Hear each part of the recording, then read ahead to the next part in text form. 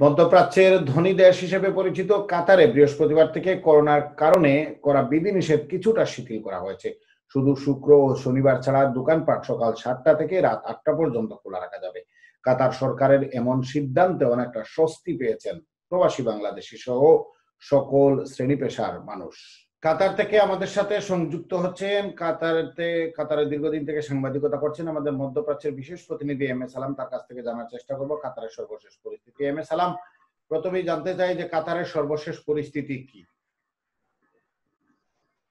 আবু তাহের, আপনাকে ধন্যবাদ। আপনি জানেন করোনা ভাইরাস কোভিড নাইন্টিনে আক্রান্ত এখন পুরো বিশ্ব। কাতারে আমরা যারা বসবাস করি, আসলে সত্যি হলেও আমরা তেমন ভালো নেই। আজকে করোনা ভাইরাসে আক্রান্ত হয়েছেন এক হাজার সাতশো চুয়ান্ন জন। সর্বমোট করোনা ভাইরাসে কাতারে আক্রান্ত হওয়ার সংখ্যা হচ্ছে পঁয়ষট্টি হাজার চারশো পঁচানব্বই জন। আজকে সুস্থ হয়ে ঘুরে ফিরেছেন এক হাজার চারশো সাতষট্টি জন।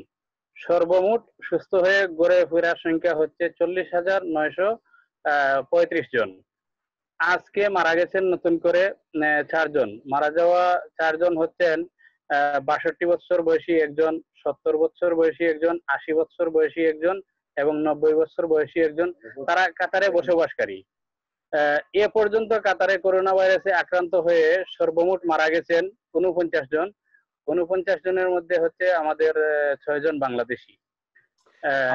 আপনি জানেন আরেকটা বিষয় যে লকডাউন কতটুকু শিথিল হয়েছে এবং বাংলাদেশিদের সার্বিক অবস্থা কি? লকডাউন বলতে কাতারে আপনি জানেন করোনা ভাইরাস আসার পরে তারা করোনা ভাইরাসকে নিয়ন্ত্রণে রাখার জন্য শুধুমাত্র ইন্ডাস্ট্রিয়াল এরিয়া যেটা সানাইয়া বলে, সেটাকে কিছুদিনের জন্য তারা লকডাউন করে রেখেছিল।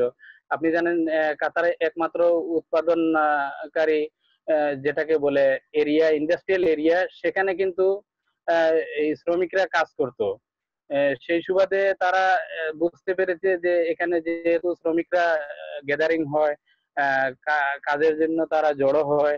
আর এমত অবস্থায় একসাথে জড়ো হওয়া স্বাস্থ্যবিধি অনুসারে হয়তো সংক্রমণ বেড়ে যেতে পারে।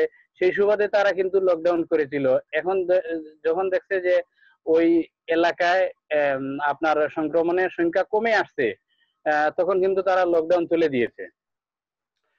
আরেকটা বিষয় যে প্রবাসী বাংলাদেশিরা এই মুহূর্তে কর্মহীন, আমরা যতদূর জানি। মানে কাজ, কাজের ক্ষেত্রগুলো কবে থেকে খুলছে, সরকার থেকে কি বলা হচ্ছে? জি, আসলে আপনাকে একটা জিনিস জানিয়ে রাখি। যারা কাতারে করোনা ভাইরাসে আক্রান্ত হয়েছেন চিকিৎসাধীন রয়েছেন, তাদের কিন্তু আপনার যে বেতন ভাতা সবকিছু কিন্তু সরকারের পক্ষ থেকে বহন করা হচ্ছে। করোনা ভাইরাস আসার কারণে অপ্রিয় হলেও সত্য প্রবাসীরা ঘরে বসে আছে তারা কর্মহীন হয়ে অলস ভাবে কাজ নেই অলস ভাবে সময় পার করতেছে।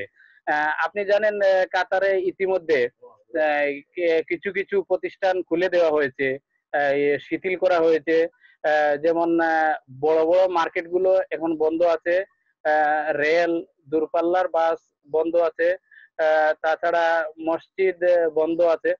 তো আমরা তথ্য পেয়েছি ইনশাল্লাহ কিছুদিনের ভিতরে সেই সমস্ত প্রতিষ্ঠানগুলো এবং মসজিদ উন্মুক্ত করে দেওয়া হবে।